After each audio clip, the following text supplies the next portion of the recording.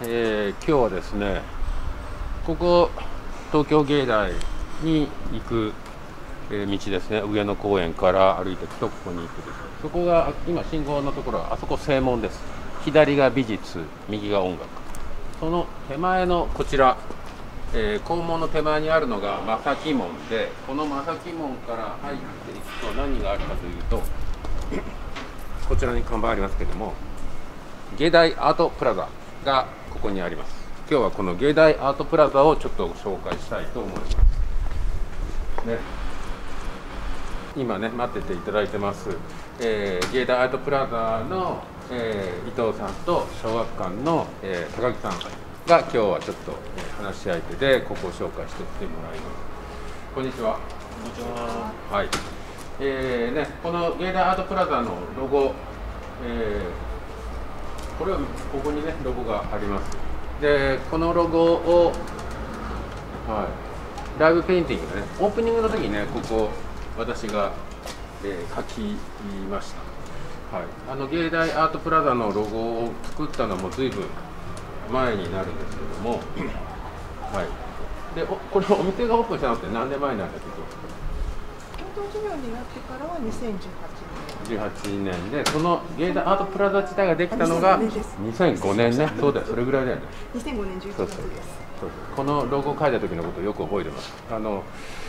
教授会美術学部の教授会の中で芸大アートプラザっていうものを作りましょうっていうふうになってでそれで、えー、じゃあ日村さんロゴ作ってくれって言ってでそれで私が教授会の間にこう書いてデザイン科の先生に渡したじゃあちょっとお店の中見ていきたいと思います。で今はですね企画展やってます。ちょっと伊藤さん説明してもらっていいですか？何展ですか？はい、えー、芸大動物園アートジャングルです。動物や植物をテーマとした作品です、はい。えー、出品してる作家は OB と教員と学生。じゃあちょっといろいろ見ていこうかどこから行く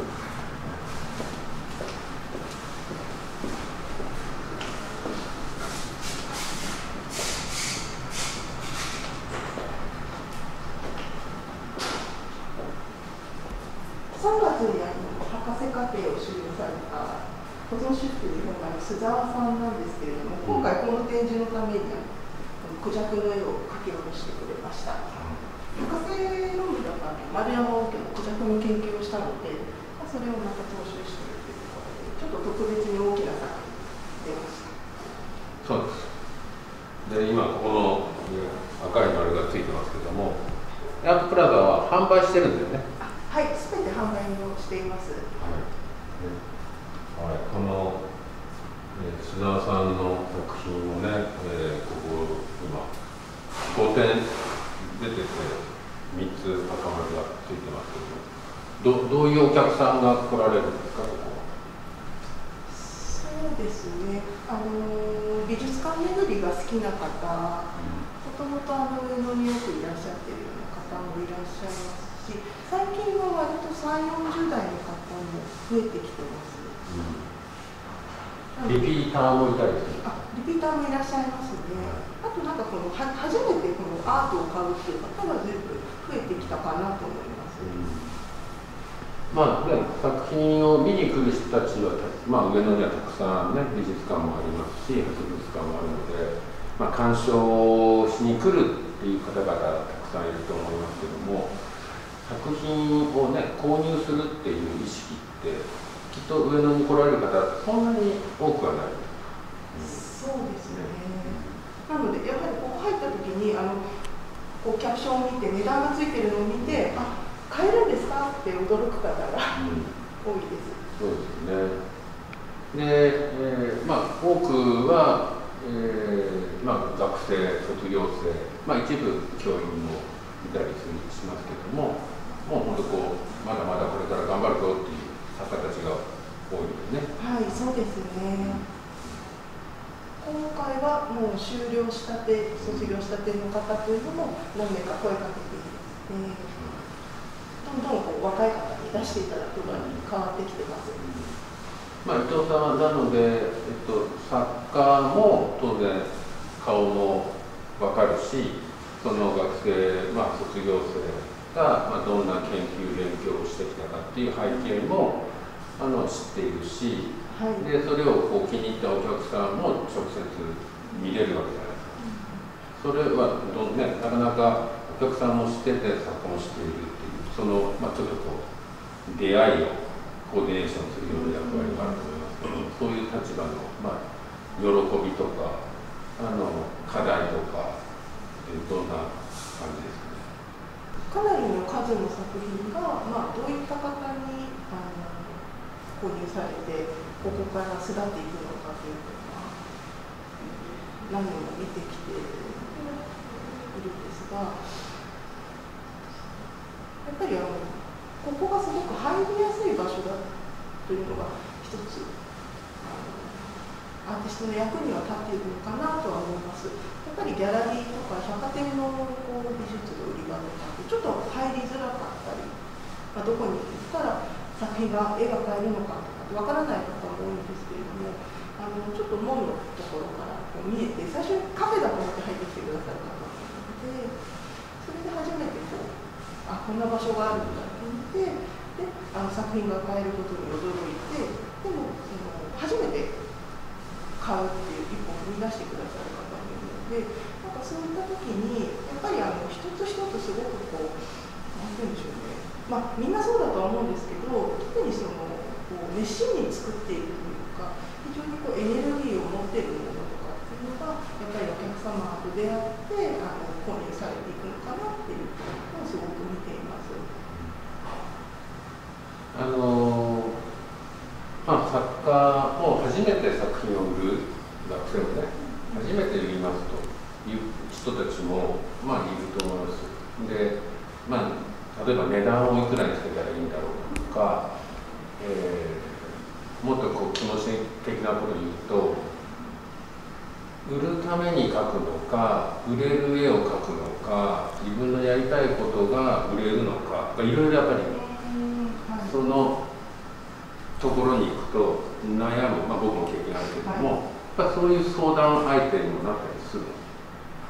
伊藤さんが。そうですねただ私はあまりその内容に踏み込まないようにはしていますやっぱりあの逆に売れるものを作っていくのかアートの方でやっていくのかっていうのはうんやっぱりそれぞれのあの選ぶべき道だとは思うので。作品いいものができた時とかはちょっとこうやっぱり感情的にあのここがすごいねとかあこんな発想があるんだねっていうふうなこう反応はするんですけれども実際にこれから先どうあるべきかというのは本人が気づいて選んでいくところだとは思うのであえて少し距離は置くようにはしてます。例えばお客さんもあのあの作家今度また作品いつ出ますかみたいな作家を追いかけ始めるようなお客さんもいたりするんじゃないですかそうですね。で皆さんすぐその作家の SNS にアクセスしてくださってでそこからあの続けて他の会場でも追いかけてみてくださる。話はよく聞きます。で、えー、このアートプラザね、えっと、オープンして、えー、もう17年、まあ、小学館が関わるようになっても、えー、4年間立ちます。で、また今度、えー、リノベーションをね、今月6月末に、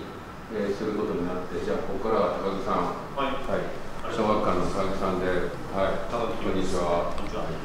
えー、今度リノベーションされるということですが、ねはい、具体的にどこどんな感じであの基本的にはもうこの壁なんですけれども、多分開業時って立体作品を中心にあの置くっていう発想だったなので、まあ、あの展示の棚が多いんですけれども、やっぱり最近平面の作品も増えてきたので、基本的にはお客様に先入観なしに作品を見ていただきたいなということで、あのフラットな壁にことを基準にしようかなじもうちょっとこう、例えば大型の作品とか、あのまあ、あのいろんなものが展示できるような、ホワイトキューブの、はい、の出題にな。るですね、おっしゃる通り、多分今見ていただいて、あの枠があることによって、作品のサイズっていうのはどうしても限定されますのでそれってちょっともったいないんじゃないかなっていうふうに思ってまして